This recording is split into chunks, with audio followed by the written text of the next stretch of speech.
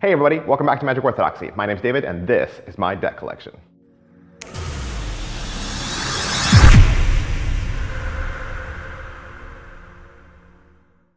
All right, so for this deck collection video, I'm gonna look at the Smoke and Mirrors decks from Dan and Dave. Now, just did a Dan and Dave video, so why didn't I include Smoke and Mirrors in that video? When because, you know, I reviewed Smoke and Mirrors so long ago, it seems like forever ago, and I really loved this set, so I felt like, you know what, let's give this set a little more attention than just running through it. So I'm actually gonna give you some caliper measurements for these, uh, and show you what these look like uh, in comparison with version 1 and version 2. And so let's get on into it. So it came in this little hard shell box, and then inside the box, there's actually a certificate of authenticity. Okay? And so when these boxes came out, uh, Smoke and Mirrors 1 and 2, the white version and the black version, were included in this box set, but they were not the original Smoke and Mirrors that came out before the box set. Does that make sense? So there's actually a version 1 of white and black, and a version 2 of white and black. So this is what they look like. Okay, so you can see that the version 2 uh, is a little bit more cream than stark white, and the black is a little bit more gunmetal gray than just stark black. So version 1 is bright white, bright black, smoke, mirrors, and then the version 2, cream shelled, gunmetal shelled. Also, between the two, um, version 1 is a lot thicker. So version 1, thicker cards, okay?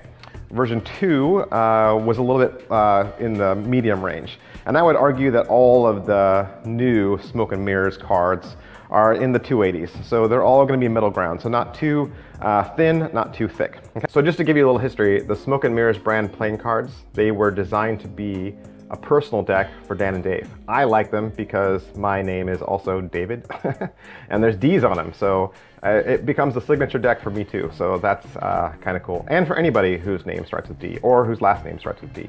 Uh, they, all these decks, they were custom tailored uh, to uh, Dan and Dave Buck's taste with all original artwork.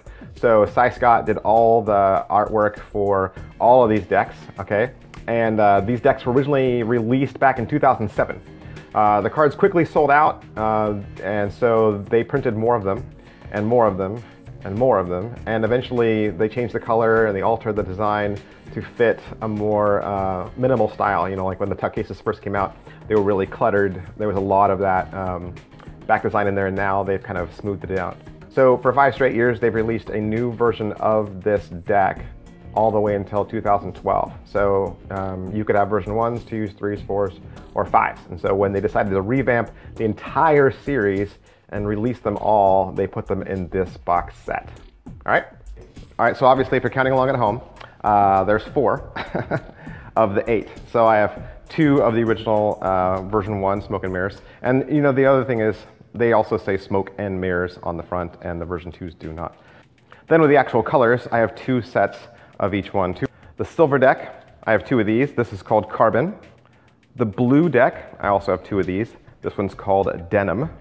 Red deck, two of these. This one's called Rouge. And the green deck, I have two of these. This one is called Echo.